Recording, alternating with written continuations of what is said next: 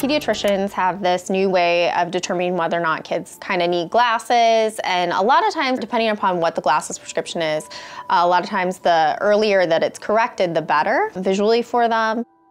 Pediatricians now have this, it's called a spot screen. Um, it's where they take a picture and it gives an estimation of their, of a glasses prescription and then it says whether or not they need a referral to an eye care place. So we see a lot of like seven month olds, eight month olds um, who have had this spot screen done. So they come in, we kind of just check to see if the parents have noticed any problems with the children's eyes. We evaluate their ocular alignment and their fixation, like how well they fixate on things and pupils and the health of their eye. And then we put some drops in. We usually use cyclopentolate and that kind of temporarily impairs their ability to focus. Um, and then we are able, because they can't focus, we're able to use that method called retinoscopy, where we shine that light in their eyes. It's not a very bright light, so they're usually not bothered by it.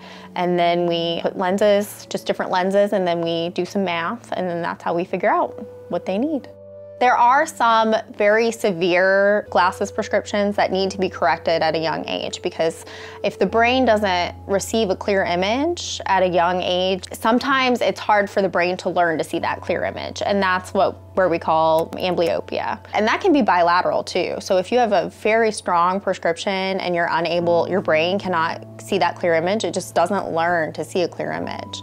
And so if you were never corrected as a young child and you try to be corrected as an adult, most of the time you, even with glasses, you won't get normal vision, what we consider normal.